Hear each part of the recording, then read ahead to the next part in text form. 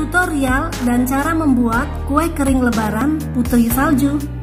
Ini tidak menggunakan cetakan dan tanpa menggunakan oven ya.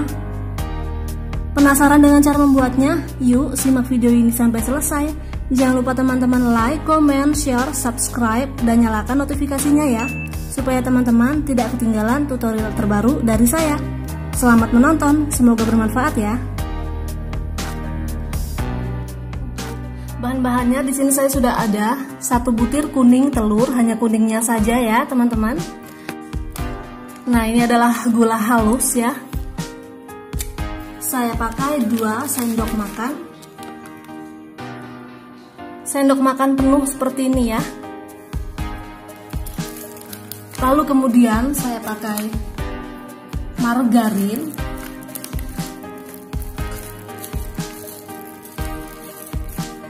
ini dia margarin. Kita pakai sendok penuh juga seperti ini. 2 sendok ya.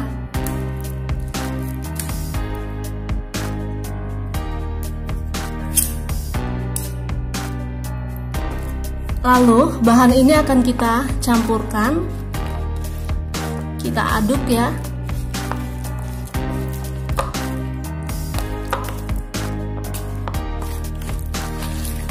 sampai tercampur dan halus seperti itu.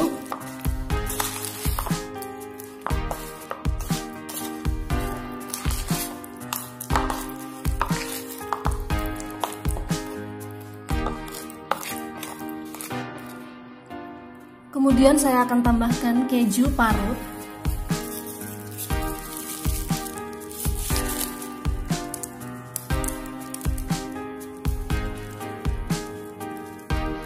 Nah, untuk keju parut ini kurang lebih saya pakai 10 sampai 15 gram ya.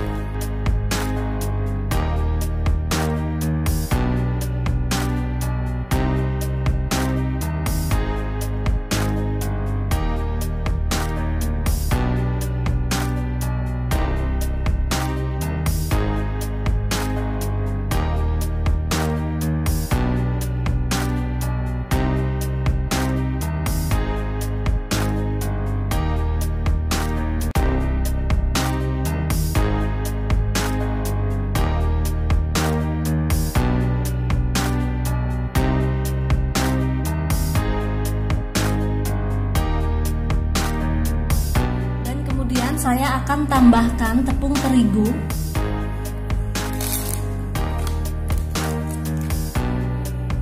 Tepung terigu.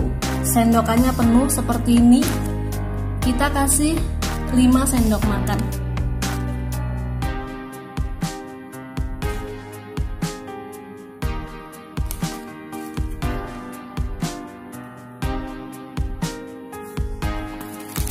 Oke, dan di sini kita akan campurkan lagi ya, teman-teman.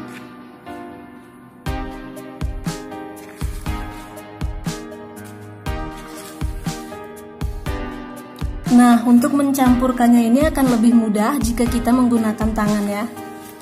Jadi, sebelumnya teman-teman harus mencuci tangan dan di sini saya akan gunakan tangan saja ya.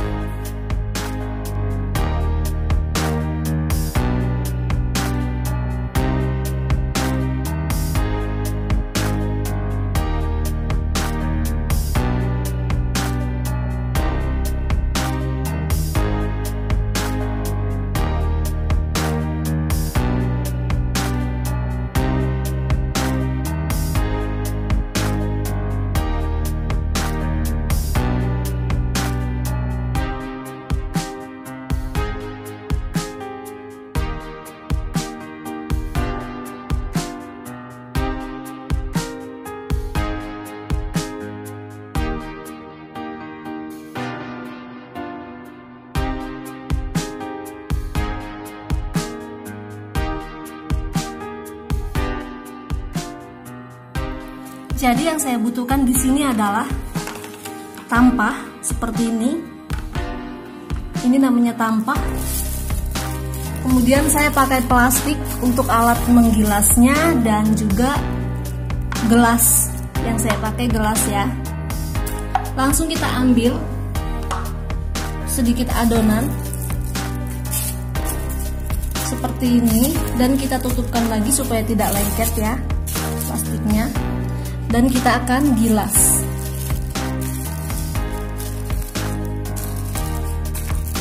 Nah seperti ini ya teman-teman.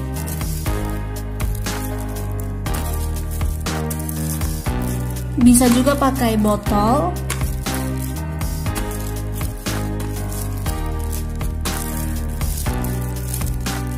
Nah, ini sudah rata. Dan sekarang kita buka. Lalu di sini saya perlu pisau. Saya pakai sebalikan pisaunya. Saya sisihkan bagian yang tidak ratanya. Nanti bisa kita cetak kembali. Dan di sini bagian ini kita akan potong-potong seperti ini ya nah kita potong-potong memanjang seperti ini.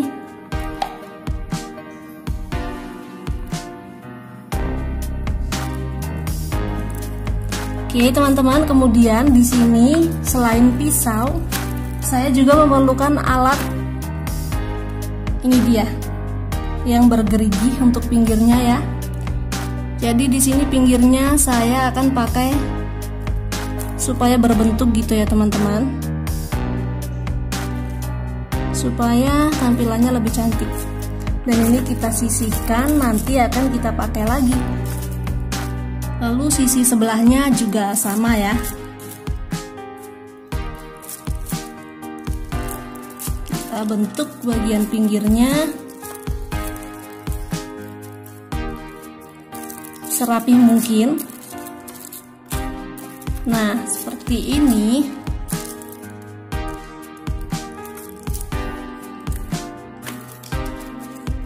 Kemudian di sini kita akan ambil satu-satu.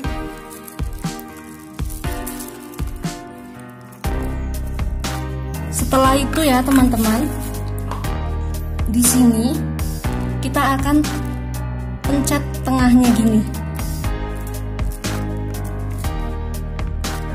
Nah, jadi dia bentuknya bagus ya. Tinggal dipencet aja tengahnya ya teman-teman, kayak gini. Dan hasilnya akan bagus sekali. Kemudian di sini saya tidak akan menggunakan oven, jadi seperti biasa saya pakai saringan panci kukus ya sebagai loyangnya karena saya akan menggunakan teflon. Jadi kita pindahin yang sudah kita cetak itu ke sini ke dalam loyang yang akan kita pakai ini. Nah, seperti itu.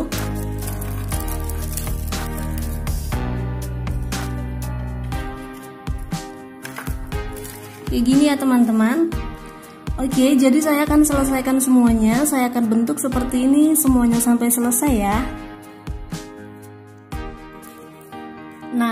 Gimana nih teman-teman? Cakep kan meskipun nggak pakai cetakan? Sekarang langsung ya kita akan panggang kue ini. Sekarang saatnya kita nyalakan kompornya. Gunakan api yang paling kecil dan lalu kita pakai teflon yang sudah butut ya karena nanti dia akan gosong dan kita taruh di atasnya loyang kita. Seperti ini. Kemudian ini akan kita tutup. Seperti ini selama kurang lebih 10 menit ya teman-teman. Baru akan kita angkat. Nah ini dia teman-teman. Sudah saya angkat ya. Ini tuh garing banget ya. Dan seperti ini. Sama seperti di oven ya teman-teman renyah banget pokoknya ya. Dan karena ini putri salju jadi kita akan kasih saljunya ya. Kita akan taburi dengan gula halus ya.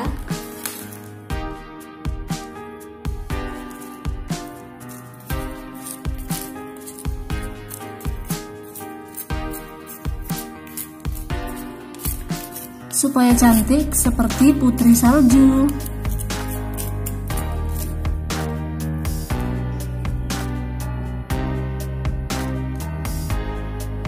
Nah, ini dia. Putri salju kita. Terima kasih ya buat teman-teman semua yang sudah menyimak resep kue putri salju dari saya. Semoga bisa bermanfaat ya teman-teman. Jangan lupa teman-teman like, comment, share, subscribe supaya teman-teman tidak ketinggalan tutorial terbaru dari saya. Oke, sampai jumpa lagi. Dah.